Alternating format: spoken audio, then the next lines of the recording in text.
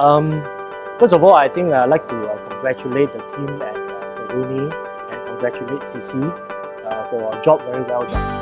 Uh, I think this is a very uh, inspirational tour and I would say it's very awesome for the team. Actually, this is my second time that I've been here. Uh, I think the first time that I was here, uh, there were a lot of ideas you know, that, that were shared. I felt that I needed to bring my whole team here and also to bring my stakeholders here to let them look at how awesome this place is and uh, what some of the great ideas that's been implemented.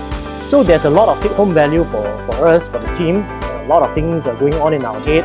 You know, uh, we certainly would like to implement some of them and we would certainly like to take Feruni as uh, one of our, our benchmark in terms of uh, changing of the culture and you know, delivering happiness uh, to both the employee and also to the stakeholders and so overall, it's, it's fantastic. You know, thank you very much for the time, you know, and the effort. Uh, it's, it's, an excellent experience. I highly encourage uh, everyone uh, to come here and uh, visit once at least, if not twice, you know, to, to get the full benefit of it. Three sentences or three words: visionary, groundbreaking, and inspiration.